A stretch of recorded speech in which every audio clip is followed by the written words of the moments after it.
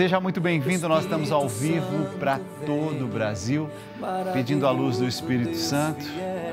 Vinde, Espírito Santo, enchei os corações dos vossos fiéis e acendei neles o fogo do vosso amor.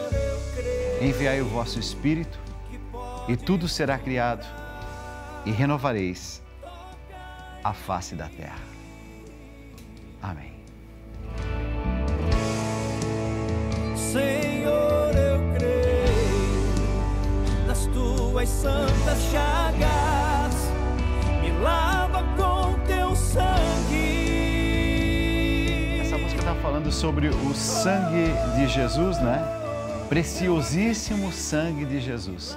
Você sabe que esse mês também ele é todo voltado para o preciosíssimo sangue de Jesus. Como assim, Dalcides? Nós vamos entender mais com o Dom Fernando, só que antes eu queria uma iluminação bíblica sobre o texto da carta de São Pedro. Logo no início da carta de São Pedro, é, São Pedro fala exatamente sobre o preciosíssimo sangue de Jesus. Vem comigo, vai lá. Vocês sabem o preço que foi pago para livrá-los da vida inútil que herdaram dos seus antepassados. Esse preço não foi uma coisa que perde o seu valor como o ouro ou a prata. Vocês foram libertados pelo precioso sangue de Cristo, que era como um cordeiro sem defeito nem mancha. Ele foi escolhido por Deus antes da criação do mundo e foi revelado nestes últimos tempos em benefício de vocês. Por meio dele, vocês creem em Deus, que o ressuscitou e lhe deu glória. Assim, a fé e a esperança que vocês têm estão firmadas em Deus.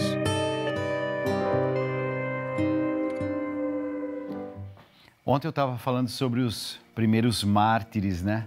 A nossa religião tem tudo a ver com cruz, tem tudo a ver com sangue.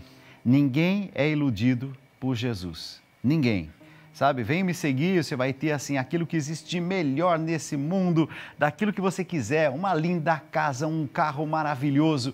Jesus nunca prometeu coisas às pessoas, nunca. Prometeu cruz para aqueles que o seguissem. Dom Fernando Antônio Figueiredo, nosso pai espiritual, ele que é presidente do IMBRAC, do Instituto Brasileiro de Comunicação Cristã, e que hoje à noite vai celebrar a Eucaristia aqui pela Rede Vida, como tem feito todas as sextas, de sexta para sábado, nas madrugadas, junto com a gente. Dom Fernando, é uma alegria enorme receber o Senhor, mas como a gente ama o Senhor? Por que será que a gente ama tanto o Senhor, não? Bom dia. Bom dia, que Deus abençoe a você, abençoe a todos, todos que estão nos acompanhando como também os nossos cantores aqui, músicos, né? Zizi, o Claudinei, né? Zizi tem um trabalho lindíssimo, lindíssimo. Fonoaudióloga, mas canta também na comunidade. Como é o nome da, da comunidade de vocês? Nós pertencemos à Paróquia Espírito Santo. É, atualmente a gente está participando da comunidade Nossa Senhora de Fátima, Nossa que pertence Senhora à paróquia, né? Claudinei, sejam muito bem-vindos, tá? Obrigado. Daqui a pouco nós vamos ter assim a a boa música cantada do jeito que, como deve mesmo, né? E é, quem está nos acompanhando também, ah, Dalci, estou precisando de orientação tal. A minha voz, não sei o quê. Tem como educar essa voz, tem como encaminhar essa voz é, para você explorar aquilo que existe de melhor nesse dom que você recebeu. Não é isso? É verdade, é isso mesmo. Agora, o Dom Fernando vai pedir agora uma parte, ele vai falar assim, ah, eu não canto nada. Não, ela vai me ajudar ah. a encontrar o o tom, tom ah. exato em cada momento, porque eu já percebo o tom que estou errado. Eu gostaria de acertar no, no tom que é o correto, é verdade? Mas não é tão fácil, viu? É. Tem alguns Mas eu que sintonizo, nascem... eu sintonizo com a voz humana. Se ele está cantando, assim dizem, ah. Dom é, Lorchaida, Dom Luiz Lorchaida dizia sempre, às vezes no coro, etc., ou recitando algo, ele diz, Dom Fernando, o senhor pega exatamente o, tom e pega bem e não sai dele. De quem está ao lado. De quem está ao lado, mas eu acompanho. Mas se o meu vizinho, de repente, ele começa a ir lá para cima, lá para baixo, aí eu sou destruído em dois minutos. Ô, Dom Fernando, então nós vamos aprender muito hoje e é, você que está em casa, né, tem enfrentado, quem sabe, assim, grandes é, tumultos, situações difíceis, é, grandes provações. Dom Fernando, eu comecei hoje o programa falando que a nossa religião nasce junto da cruz de Cristo, ali na cruz. E Jesus nunca enganou ninguém. Venham me seguir, tomem sua cruz, né, a cruz de vocês todos os dias, é tal. Essa sinceridade de Jesus fez com que também é, muitos homens e mulheres no início do cristianismo se revestissem de uma força tamanha a ponto de testemunhar a fé nesse Jesus. Ontem nós celebramos os primeiros mártires, né? Quando Nero incendeia Roma, bota a culpa nos cristãos. Eu estava pensando sobre isso. Não é fácil a vida do cristão, mas não é fácil a vida de ninguém, né? Mas veja é um bem, nosso. nós pensamos que recebemos essa força como Sim. se algo fosse fruto da nossa simples vontade, mas é algo muito mais precioso. É nós temos força realmente interior, como Jesus, ele entregou-se na cruz, Sim. morrendo e derramando o sangue, preciosíssimo sangue, para a salvação da humanidade toda inteira. Mas o qual era a força constitutiva, vamos dizer, do deste, dessa realidade da cruz, desse sacrifício que os cristãos faziam, a oferta da vida deles, a força interior, o amor. O amor. Assim Portanto, Jesus veio para derramar nos nossos corações o seu amor. Amai-vos uns aos outros como eu vos amei. O senhor está falando e me vem as primeiras páginas dos Atos dos Apóstolos, que eles se reuniam e aqueles que estavam próximos olhavam, observavam a uma certa distância e diziam: Vejam como eles, eles se, se, amam. Se amam. É o amor que caracteriza profundamente a vida do cristão. Porque quem ama o que ele sempre foi, ele é e sempre será. Porque é o amor que o comanda. Não é simplesmente um sentimento, diríamos, fugaz. Existe hoje e amanhã não. Por isso nós confiamos em Jesus e toda a nossa vida se coloca no coração dele, porque ele é sempre o mesmo. A palavra de Deus é sempre inspiradora, né? Os apóstolos faziam muitos milagres e maravilhas. E por isso todas as pessoas estavam cheias de temor. Todos os que criam estavam juntos e unidos e repartiam uns com os outros o que tinham. Vendiam as suas propriedades, dividiam o dinheiro com todos de acordo com a necessidade de cada um. Todos os dias, unidos, se reuniam no pátio do templo e nas casas partiam o pão, participavam das refeições com alegria, com humildade, louvavam a Deus por tudo, eram estimados por todos e cada dia o Senhor juntava ao grupo as pessoas que iam sendo salvas. É lindo iam sendo isso. salvas. Como eu sempre digo, iam sendo salvas. Significa as pessoas que participavam, graças ao Senhor e ao seu amor, participavam das riquezas da vida de Deus. É a comunhão. Então a serenidade surge, vigora, e cada vez mais se torna uma realidade essa serenidade no coração dos discípulos de Jesus. E ele é, e ele é serenidade, e ele é paz, e ele é amor, por ser amor justamente. Amém. Por ser amor, né? Vamos construir então toda a nossa alegria, a nossa vida, a nossa casa Vamos construir tudo isso em Deus. Que o Senhor seja o nosso alicerce. Que Ele nos envolva com seu amor nesta manhã. Que o amor e a misericórdia do Senhor adentre agora na sua casa, no seu coração. Senhor, nós colocamos em tuas mãos tudo tudo que somos e temos, Senhor. Confiamos em Ti, seja o centro das nossas vidas. Nos submetemos a Ti, Senhor, e submetemos também todos os nossos desejos, todos os nossos sonhos a Ti, Senhor.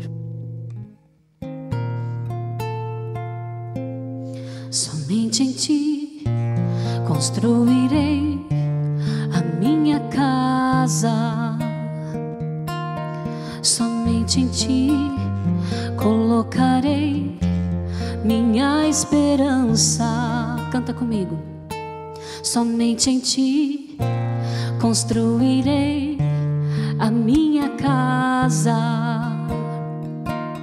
Somente em Ti colocarei minha esperança, pois só em Ti minha alma achou descanso, pois só em Ti eu pude respirar. Só em Ti minha alma achou descanso, pois só em Ti eu pude respirar.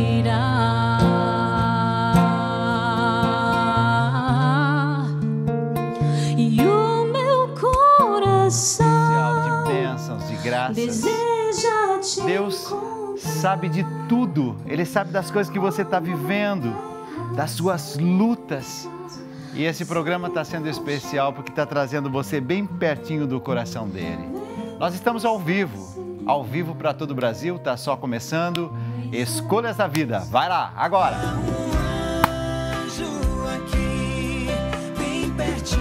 Eu quero mostrar uma imagem para você agora, vem cá. Eu sei, ele tem uma cara assim um pouquinho séria, né? Séria, séria. Uma cara mais rude assim. Mas um grande santo da igreja. Grande santo da igreja. Eu vi que o senhor já fez uma referência logo de manhãzinha. Dom Fernando tem a missa logo de manhãzinha, às 5 e meia da manhã, pelo canal do YouTube, youtube.com barra Dom Fernando Antônio Figueiredo. E quando você pode, assim, acompanhe, porque eu acompanho todos os dias, logo de manhãzinha eu já vou rezando com o Dom Fernando. Dom Fernando, estamos no mês em que vamos celebrar São Bento. São Bento era, não era franciscano não, né? Era beneditino, é isso? São Bento fundou, Fundou os beneditinos. fundou a ordem dos beneditinos. Ele foi o primeiro, né, evidentemente. Um homem de oração, de contemplação, que vivia para Deus, né? e realmente ele teve um grande significado e transformou, vamos dizer assim, a, a Europa.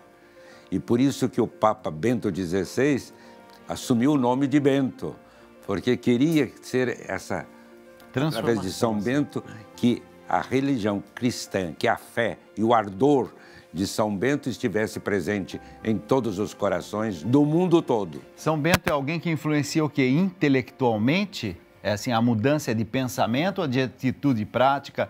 Porque eu olho, por exemplo, um São Francisco, ele é um grande revolucionário, mas você percebe que ali no São Francisco eu encontro talvez assim mais a prática, assim, o dia a dia do que a questão teórica. Ao menos na minha cabecinha eu penso dessa forma. Ou isso não existe? Se não tocar no coração, Não adianta. eu digo uma gíriazinha, neca de pitibiriba. Não adianta nada, não chega a não lugar nenhum. adianta nada. Tem de tocar é no coração. E se toca no coração, você se transforma no agir, no pensar e no relacionamento que você tem. Dom Fernando, eu estou olhando para a imagem, né, é, de São Bento. é, ele tem assim um- uma imagem assim mais carrancuda, assim, uma imagem mais séria. Isso é o quê? Porque era um homem de muita penitência, de muita oração, ou é uma época que ele vivia em que se representava assim com mais seriedade? Eu creio que se representava dessa maneira. Porque se nós vemos os escritos, é só ler a regra de São, de São Bento, que é tão bela, em que ele fala sempre, sempre da perseverança, né? Perseverança em Deus. É um homem de coração aberto. E coração aberto significa essa alegria interior, que também se manifesta no, nas palavras e no gesto alegre de se comunicar, de se relacionar. o Dom Fernando, então, para a gente fazer um momento catequese aqui.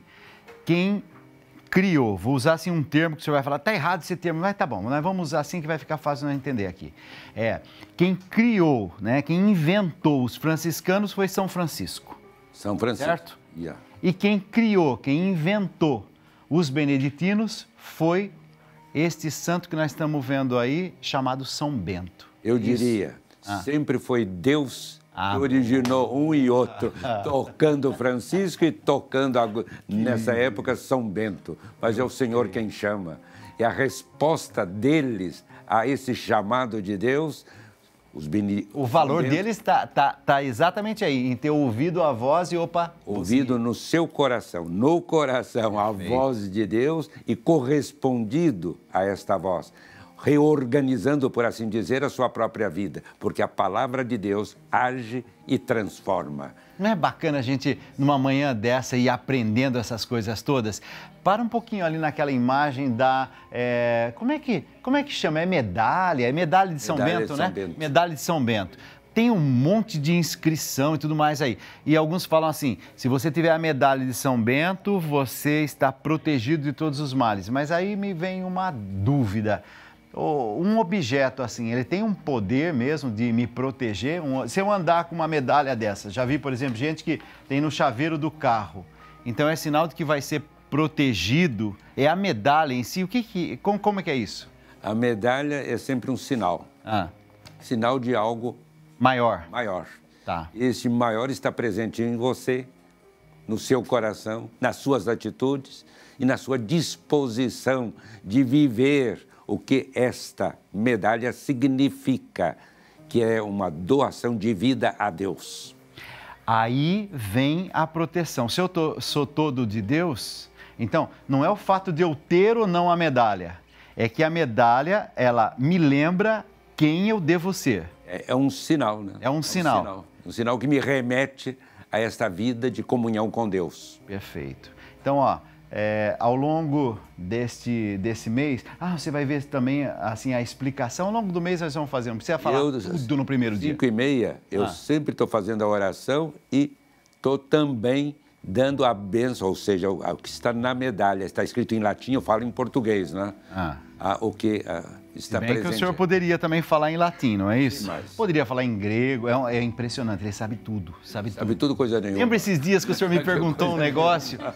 É, esses dias ele me perguntou um negócio e eu falei assim, assim, porque no grego tal coisa, mas eu inventei, eu não sabia nada, né? Aí ele ficou admirado, assim, falou, nossa, que você é, é, sabe tudo isso. Aí ele percebeu que eu estava só brincando, lembra? Eu vi, né? falei. O senhor fez uma pergunta, nenhuma, eu disse, não, não porque... coisa nenhuma, era latim que você estava falando. é, eu indo por um caminho que não tinha nada a ver, e Dom Fernando ficou meio em dúvida no início, depois ele falou assim, não, esse moleque está tentando me enganar. 11 horas e 25 minutos, a sua bênção e meia-noite vai estar junto com a gente? Meia-noite estaremos aqui presentes, como se diz o bom mineiro, rente que nem, nem pão quente. Quem que vai, é, vai ser a bênção hoje? A bênção de São Francisco. São Francisco, tá bom. eu não posso fazer, dar outra bênção perfeito, perfeito, a não ser perfeito, do meu pai seráfico São Francisco Agora. de Assis. Sempre a dei desde que fui ordenado sacerdote. Hein? Imagina, todos os dias nesses Quantos anos são? 54. 54 anos de sacerdócio, todos os dias ele dando essa bênção. Vamos receber essa bênção? Você que está em casa, estenda a sua mão na direção das mãos ungidas do nosso bom Pai espiritual. O Senhor esteja convosco. Ele está no meio de nós. O Senhor vos abençoe e vos guarde. Amém. O Senhor volva seu rosto para vós e vos dê a paz. Amém. O Senhor volte a sua face e tenha misericórdia de vós. Amém. O Senhor vos abençoe, o Pai, o Filho e o Espírito Santo. Amém. Amém. E São Francisco terminava como? Dizendo paz, e bem. bem. Paz Quer que eu bem. fale em latim? Pax. Vamos ver? Vamos ver. Pacete bono. Eu não sei. Ó, um beijo. Obrigado, viu? A partir da meia-noite, o nosso bom pai espiritual junto com a gente. Ó, hoje é sexta-feira. Sabe que hoje é a primeira sexta-feira do mês? Daqui a pouco nós vamos fazer uma oração especial, porque em honra ao Sagrado Coração de Jesus, eu e você vamos pedir uma graça, uma graça especial. Hoje é mês de julho, é, já estamos iniciando né, o mês de julho, dedicado ao preciosíssimo sangue de Jesus. A nossa repórter Laís Peçanha vai nos trazer mais informações sobre essa devoção. Fala, grande repórter. Onde está, Fia?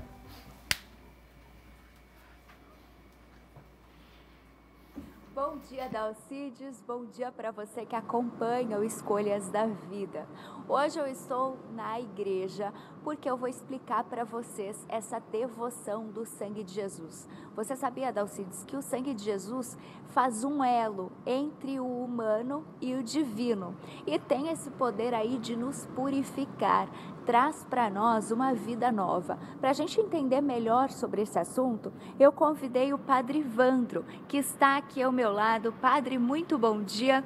Eu queria que o senhor explicasse para a gente quando começou essa história de amor dos cristãos com o sangue de Jesus. Começa quando Cristo, num gesto de profunda doação, se oferece na cruz, nos amando até o fim e nos entregando o seu sangue, o seu corpo, como um sinal de amor. Então, a partir dali, quando nós olhamos para o sangue de Cristo, nós olhamos esse amor maior que nos ama até a doação total de si mesmo. Padre, através da Eucaristia é possível a gente vivenciar e participar dessa purificação? É, a maneira sublime de participar desse mistério de amor através do sangue é verdadeiramente a Eucaristia. Porque na Eucaristia nós encontramos o corpo, sangue, alma e divindade do Senhor. Quando eu me aproximo da Eucaristia, eu me aproximo desse amor de Deus que cura a minha vida, toca o meu coração e me faz uma pessoa nova. E para os católicos que estão nos assistindo vivenciarem bem esse mês, o que é preciso? É preciso nesse mês meditar no amor de Deus por nós, através, sobretudo, da paixão, dos últimos momentos do Senhor, da sua cruz, também da sua ressurreição. E depois participar da Santa Missa, da Eucaristia, ter esse contato com a Eucaristia que verdadeiramente nos resgata, nos transforma e nos dá uma força para vivermos o mesmo amor que Deus tem por nós. Ótimo, padre, muito obrigada pela sua participação. Dalcides, é isso, né? Vamos então voltar para as igrejas, participar da Santa Missa para receber esse amor e essa purificação de Jesus Cristo. Eu volto com você aí no estúdio. Laís, obrigado mais uma vez. É, é isso. Quando o nosso coração se encontra com o coração dele, pelo sangue dele nós somos libertos, renovados restaurados, curados. Vem, Senhor Jesus. Vem com teu poder, tua bondade, tua misericórdia. Vem lavar-nos todo inteiro. Vem, Senhor. Preciosíssimo sangue de Jesus. Lava-me, lava-me. Com teu sangue, vem cumprir as tuas promessas em nossas vidas, Senhor. Vem realizar os teus milagres e prodígios em nossas vidas. verei. Os milagres vão surgir, eu verei. Os milagres vão surgir diante de mim.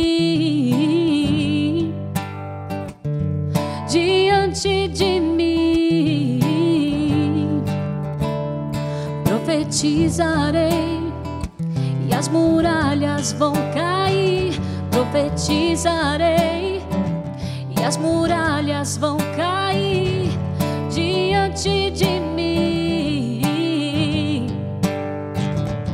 Diante de mim. Tudo que ele disse sobre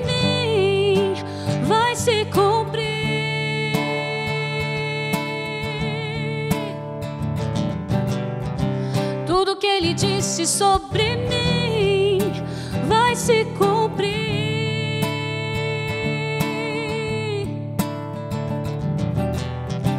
Tudo que ele disse sobre mim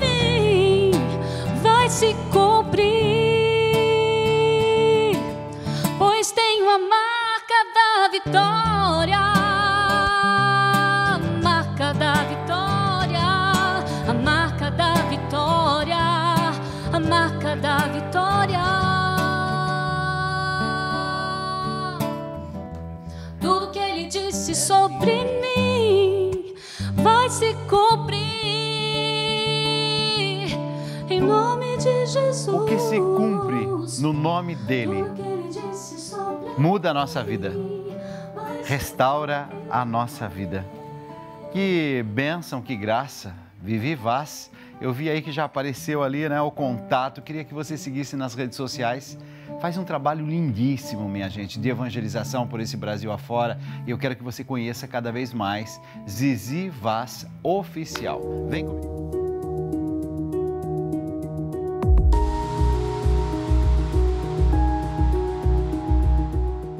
Morava em Curitiba e me mudei para São Paulo. Não tenho amigos aqui. Eu tento a todo custo fazer amizades, mas as pessoas acham que eu sou carente. Ninguém gosta de mim. Eu só não queria me sentir tão sozinha. Preciso de uma palavra amiga. Júlia. Ai, Júlia, sabe o que eu acho? Que a sua autoestima não tá legal, né, bem? Porque quando você fala assim, é, eu fico toda carente, ninguém gosta de mim, é, eu fico assim quietinho aqui, né? Tô sofrendo é, no fundo, o que está acontecendo não é a cidade para onde você foi ou as pessoas que estão ao seu redor. É claro que é a cidade onde você foi, então as pessoas ao redor, isso poderá ter alguma influência. Mas se dentro da gente a gente não se ama, a gente não se valoriza, a gente tem a tendência de olhar tudo como sendo uma certa agressividade a gente. Cuidar da autoestima é fundamental. É isso, Zizi? É verdade, Vivi. né? Eu acredito que as mudanças também podem estar muito recentes, né? Precisa de um tempo também para se habituar, não é verdade? A essa mudança da vida dela, mas é preciso que ela entenda que ela é preciosa, né? Que ela é importante para Deus e, e, amar a si própria, né? Dar valor a si mesma, porque quando ela começar a se olhar com outros olhos, os outros também vão vê-la de forma diferente, né? Como que a gente pode começar se amando? Como é que a gente pode começar se valorizando? Como é que a gente pode começar cuidando dessa nossa autoestima? Qual que são assim os primeiros passos, por exemplo? Olha, eu penso que na vida, às vezes a gente carrega algumas marcas, né? Perfeito. De repente, alguma situação da infância ou da adolescência, né, que pode ter marcado de forma não tão positiva. Então, começar com momentos de oração para cura interior, de repente pode Perfeito. ser um caminho, né? Oração de cura interior, né?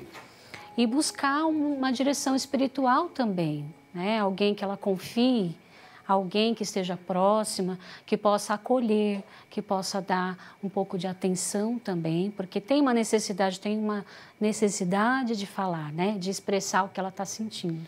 Eu queria muito me unir agora em oração ao som de uma música, né? Um trechinho de uma música, mas que essa música que você sente agora no coração, que deve cantar, que ela fale ao coração daquele que não está se amando, sabe? Posso pedir para você rezar comigo? Reza comigo assim: Senhor, eu peço. Senhor, eu peço. Nesta manhã de bênçãos e graças. Nesta manhã de bênçãos e de graças. No início de um novo mês. No início de um novo mês. Vem em meu socorro. Vem em meu socorro. Eu creio. Eu creio. O Senhor realiza em mim. Que o Senhor realiza em mim as tuas obras as tuas obras. Eu creio. Eu creio. Purifica-me. Purifica-me. Ampara-me. Ampara-me.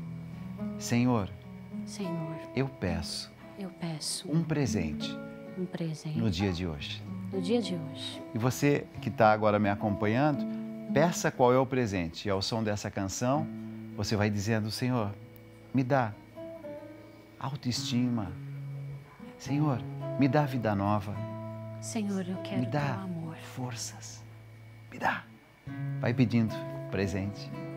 Eu quero teu amor. Eu sei que nos momentos difíceis é difícil a gente acreditar no amor do Senhor por nós. Mas Ele é o nosso amor. Ele é o nosso maior presente. Acredite no amor do Senhor Jesus por você.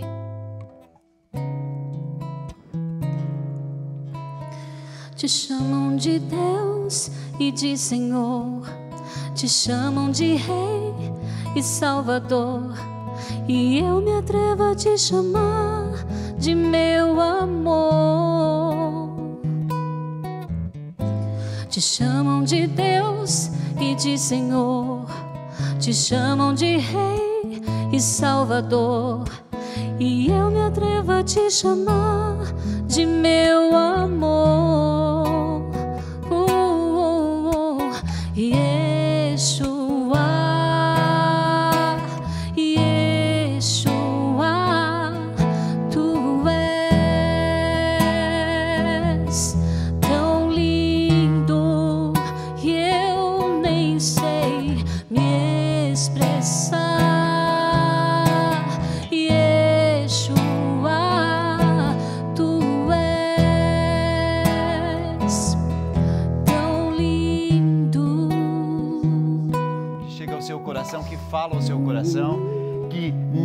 Manhã especial de bênçãos e graças traz a você a paz que você está precisando, a coragem que você está precisando.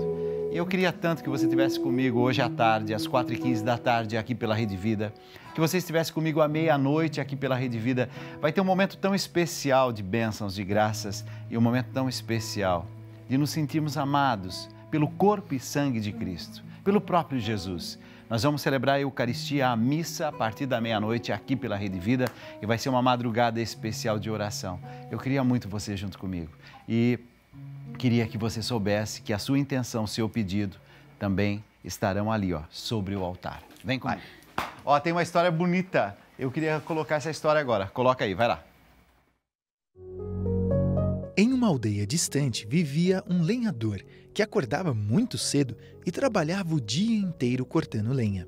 Esse lenhador era viúvo, tinha um filho lindo de sete anos e também uma raposa tratada como bicho de estimação e de sua total confiança. Todos os dias o lenhador saía para trabalhar e deixava a raposa cuidando do seu filho, e todas as noites, ao retornar do trabalho, a raposa ficava feliz com sua chegada. Os vizinhos do lenhador alertavam que aquela raposa era um animal selvagem, portanto, não era confiável. Quando sentisse fome, comeria a criança.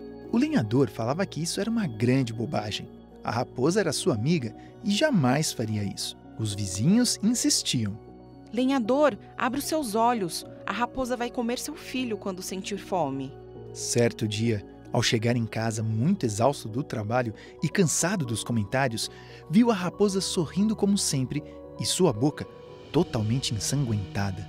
O lenhador suou frio e, sem pensar duas vezes, acertou o machado na cabeça da raposa. Ao entrar no quarto desesperadamente, encontrou seu filho na cama dormindo. Ao lado da cama, uma cobra morta. O lenhador enterrou o machado e a raposa juntos. Se você confia em alguém, não importa o que os outros pensem a respeito, siga sempre o seu caminho e o seu coração. Não se deixe influenciar e, principalmente, nunca tome decisões precipitadas.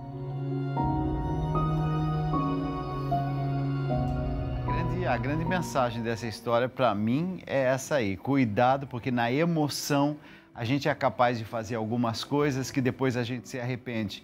Mas a hora que a gente se arrepende já pode ser tarde. Então, Assim como o sol derrete o gelo, a gentileza evapora mal entendidos, desconfianças e hostilidade. É isso. 11 horas e 51 minutos. Um trechinho para terminarmos esse programa, pode ser? Meia-noite vamos estar juntos, celebração da missa. Tudo Estaremos bonito. juntos com a graça de Deus. Amém. Amém. Vamos lá.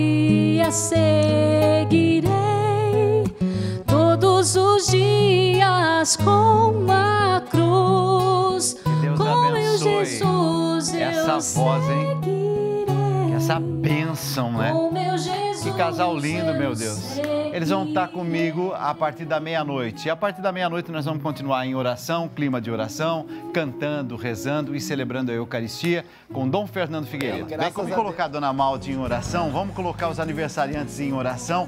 Ó, Dalva, você escreveu também aqui, não foi?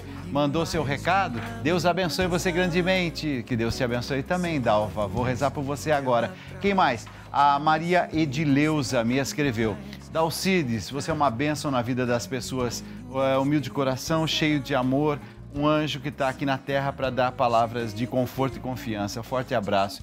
Maria de Leusa, que graça você. Obrigado pelo seu carinho comigo, filha. Sônia Morale, muito obrigado, viu, Sônia? Você é uma bênção em minha vida, um anjo da paz que nos ensina a palavra de Deus. Sem Deus não sou nada. Obrigado, Dalcides. Luz, saúde e gratidão. Sônia, Deus te abençoe, filha. Vou pegar aqui o meu terço, porque assim como a dona Maldi está fazendo aniversário, esses recadinhos que estão chegando, as pessoas que me pedem oração, Deus provê, Deus proverá. Sua misericórdia não faltará. Deus provê, Deus proverá. Sua misericórdia não faltará. Deus provê, Deus proverá. Sua misericórdia não faltará. Deus provê, Deus proverá. Sua misericórdia não faltará. Deus provê, Deus proverá. Sua misericórdia não faltará. Deus provê, Deus proverá. Sua misericórdia não faltará. Deus provê, Deus proverá. Sua misericórdia não faltará. Deus provê, Deus proverá. Sua misericórdia não faltará. Deus provê, Deus proverá. Sua misericórdia não faltará. Deus provê, Deus proverá. Sua misericórdia não faltará. Nossa Senhora, Mãe de todas as graças, rogai por nós. Sagrado coração de Jesus, eu confio em vós. Em nome do Pai, do Filho e do Espírito Santo. Amém. Fiquem na paz. Deus abençoe a todos. Tchau. E a força da paz junta todos os Obrigado por ter assistido esse vídeo. Se você gostou, por favor, deixe o seu like, compartilhe com seus amigos, seus familiares e não se esqueça de se inscrever e ativar o sininho para ficar sempre atualizado.